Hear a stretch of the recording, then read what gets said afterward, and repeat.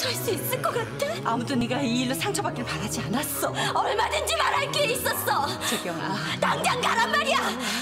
나 때문에 재경이가 상처받길 바랬어. 온통 기만과 신에 꽉차 있어. 엄마가 잘못했으면 저 아빠 용서하지 못할 거예요. 어떤 벌이든 달게 받을게. 난 사과받을 자격 없어. 인숙이한테 매달렸어.